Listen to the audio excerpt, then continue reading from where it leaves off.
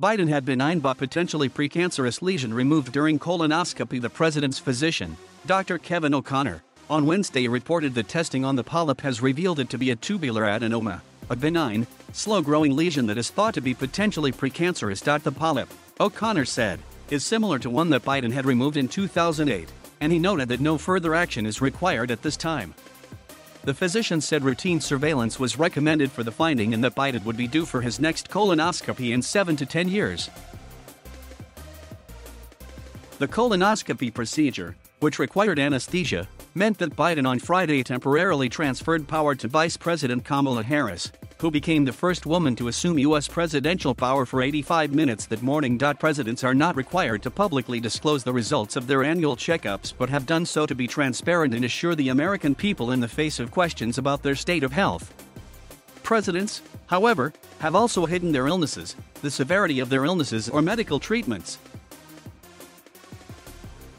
Biden, who turned 79 on Saturday, also received a physical while at Walter Reed, marking his first such appointment since he was inaugurated as the oldest first-term president in U.S. history. Afterward, O'Connor wrote in a memo that Biden remains fit for duty and fully executes all of his responsibilities without any exemptions or accommodations. The doctor, who has been with the president since he served as vice president, singled out two areas of observation he set aside for detailed investigation an increasing frequency and severity of throat clearing and coughing during speaking engagements and the president's ambulatory gait, or walking abnormality, which O'Connor said was perceptibly stiffer and less fluid than it was a year or so ago.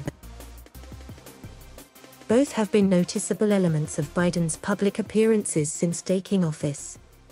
President Biden remains a healthy, vigorous, 78 year old male who is fit to successfully execute the duties of the President, to include those as Chief Executive, Head of State and Commander in Chief O'Connor wrote in his summary following the Friday physical.